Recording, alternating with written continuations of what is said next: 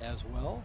Paula back in Atlanta and Lila in St. Louis. Fly ball hit toward left center field. Wynn's going to play a few tricks with this. Who wants it?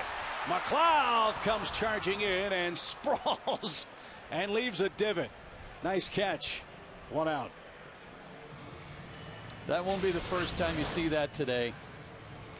The blend, the wind is blowing hard from left to right toward the right field corner. But when it does, it circulates in the stadium and tends to blow everything out toward left.